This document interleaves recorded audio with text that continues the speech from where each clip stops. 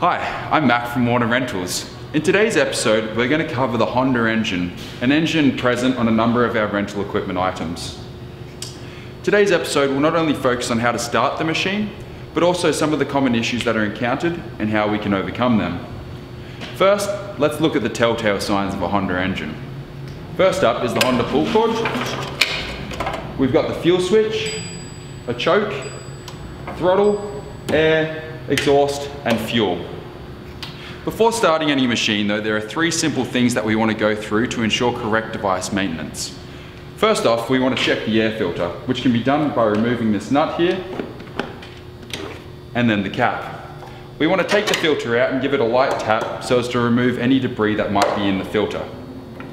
Next, we replace that filter and cap and secure it tightly with the nut.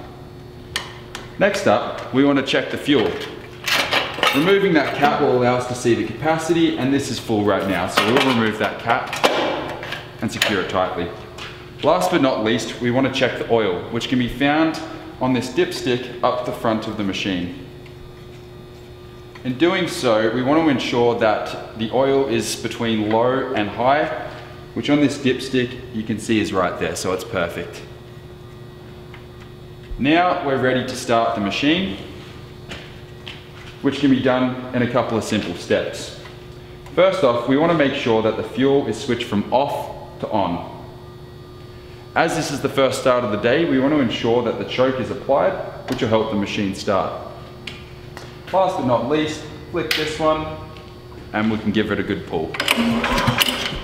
Some of the common issues that are encountered with these machines is that the fuel is left on when the machine's not in use.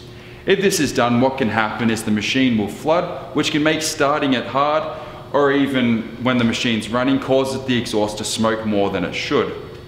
Another issue is the machines aren't stored in the upright position.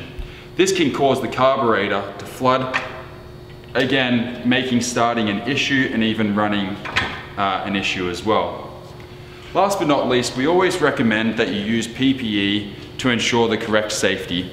We recommend safety glasses, earplugs, and where applicable, steel-toed boots and high visibility. Thanks for watching today's episode and we'll see you next time.